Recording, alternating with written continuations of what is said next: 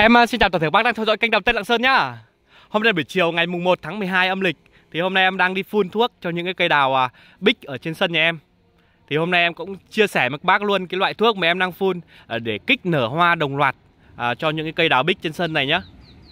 Đấy thì tí nữa thì em sẽ quay cái loại thuốc và quay à, cái nụ hoa tại cái thời điểm hiện tại của em Để cho các bác à, cùng tham khảo. Còn những cái cây đào bích à, này thì là ngày 15, 16 âm lịch tháng 12 ấy thì là khách nó khách họ sẽ đến à, nhà em à, lấy cây đi rồi. Đấy, nên là hôm nay em sẽ phải phun uh, một lần thuốc kích nở hoa đồng loạt và uh, coi như là cái phân bón ấy các bác này này. Đây, em quay uh, lấy nét cho các bác xem cái phân bón này nhá. Đấy phân bón này là nó là siêu lân. Có 10% là đạm này 55% là lân này 10% là kali. Đấy nó thúc bật mầm hoa tạo mầm hoa ra hoa đồng loạt mập hoa to hoa nở đều đậu quả nhiều. Đấy, cái tác dụng của nó, nó là như thế. Còn công dụng đây thúc đẩy cây ra rễ bật chồi nhanh thúc ủ mầm hoa bật mầm hoa. Đấy, nó có rất nhiều cái tác dụng này hạn chế hiện tượng nghẹt rễ này vàng lá này thối rễ này thiếu hụt dinh dưỡng này sau khi ờ, cây đảo bầu này. Đấy, thì những cái cây này là quả em thì là mới đảo bầu lên khoảng độ được ờ, một tháng mới trồng ở trên đây. Thì cây hiện tại là bắt đầu à, đang ra rễ non rất là nhiều rồi. Cây bắt đầu à, có thể hút được các cái chất dinh dưỡng rồi. Thì hôm nay à, em bắt đầu lại tiếp tục cho ăn bằng cái đường trên thân. Em phun đều hết một lần trên các cái cành răm của nó. Để cho nó có nhiều chất dinh dưỡng thì hoa nó mới to, nó mới đẹp được các bác ạ. Đấy, còn hiện tại là những cái nụ hoa của em đây. Em quay lấy nét cho các bác cùng xem nhé các bác nhìn thấy nụ không? Đây.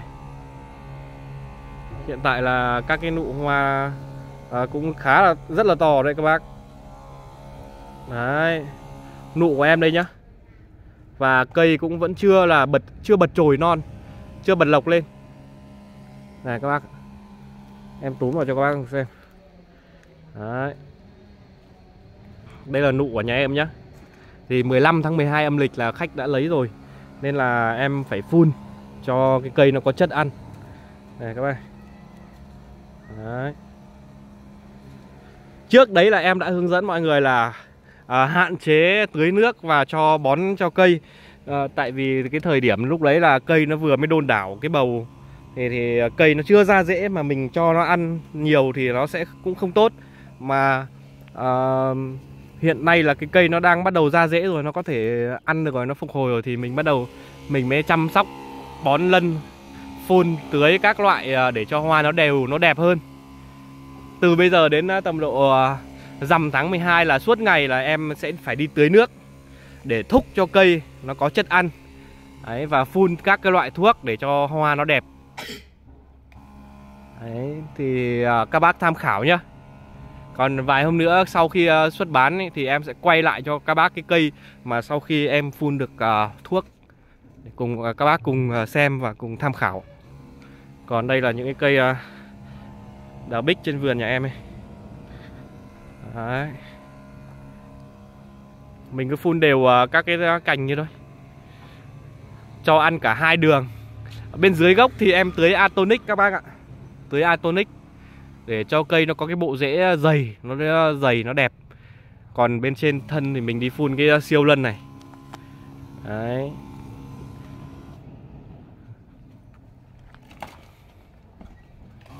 Rồi cái video này em xin kết thúc tại đây nha các bác. Thì uh, qua cái video này em cũng thông báo với các bác luôn là Cây đấy không cần phải phun đâu Hải ơi. Cây đấy phun qua thôi. Đấy, cây này là nụ hơi to rồi các bác thì ờ, tầm độ mùng 10 em mới lại phun cho một lần. Còn những cái cây ờ, nụ như lúc em quay cho các bác thì hôm nay em phun luôn. Còn à, cái cây này này thì thỉnh thoảng bây giờ nó có có một cái lộc lên này. Đấy, và thỉnh thoảng nó cũng có hoa bói và những cái đầu hoa này của nó bắt đầu ờ, nứt vỏ chấu ra rồi. Đây Thì cái cây này là không phải phun nữa đâu nha các bác. Cây này tầm độ mùng 10 hãng phun Đấy, mùng 10 hãng cho nó ăn Thì là sẽ đẹp hơn còn cái nụ như lúc em quay cho các bác thì các bác à, nên cho ăn một lần đi. Hôm nay là đầu tháng 12 âm lịch rồi. Thì à, cũng có thể cho cây ăn được rồi. Đấy Còn bây giờ uh, em xin kết thúc video tại đây nhá. Em uh, xin chào toàn thể các bác.